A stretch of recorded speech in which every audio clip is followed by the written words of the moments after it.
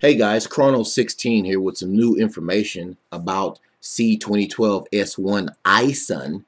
Before I get into this new information, real quick, I just want to make a comment about something that's been going on here on YouTube.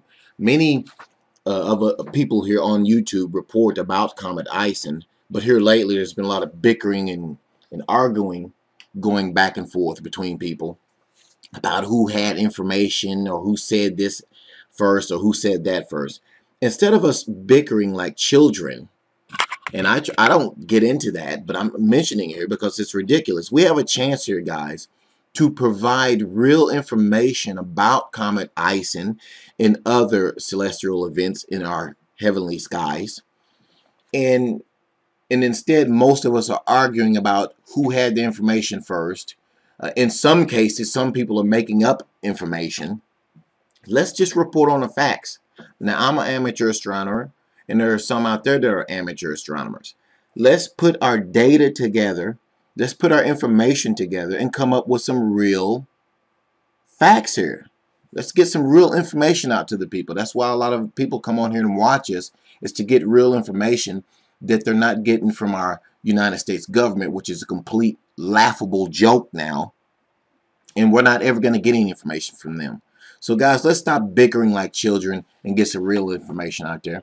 Now on, on screen here is Stellarium and it's uh, set back to June 3rd of this year, 2013. That was the last time that I got to take a look at uh, the comet with the Monterey Observatory here in western Arkansas. It was a very weak magnitude 14 when I last looked at it. Now, Tony Scarmato over in Calabria, Italy, has a bigger observatory to look at uh, stuff with.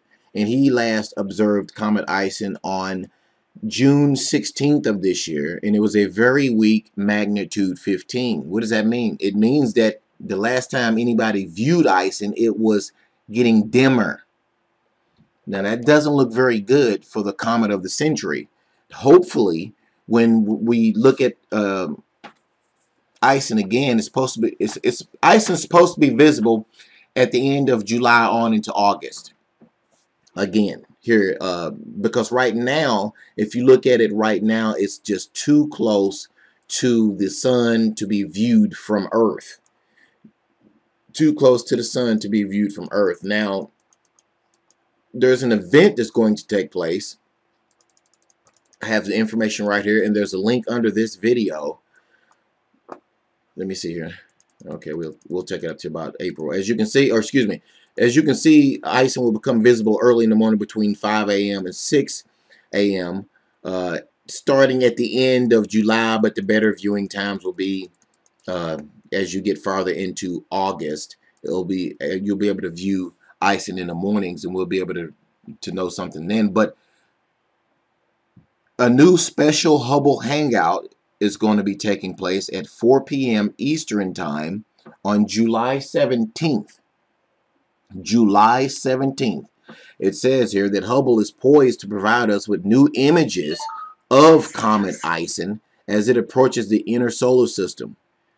In the coming months, we will get views of the comet from a perspective only Hubble can provide us. So, uh, this hangout is going to take place on Sept uh, excuse me, July 17th.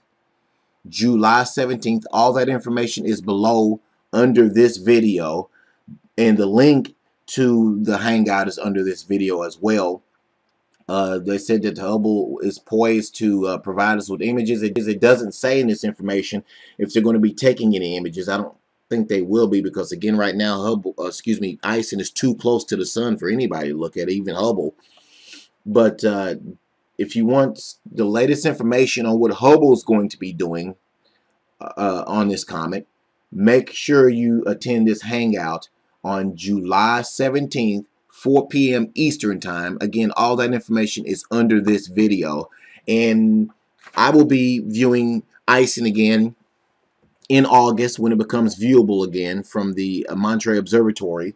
They're going to be viewing it over in uh, Italy, in New Zealand. I'm, I'm in contact uh, with some amateur astronomers in different parts of the world, and we're going to get together, guys, and we're going to have some real information put out there about ISON. Right now, as as I said earlier in this video, last reports, ISON was getting dimmer. It doesn't look good. Hopefully that trend will change. But right now, it just doesn't look like it's going to be the comet of the century. Just wanted to get that information out there to you guys. Thanks for watching. God bless.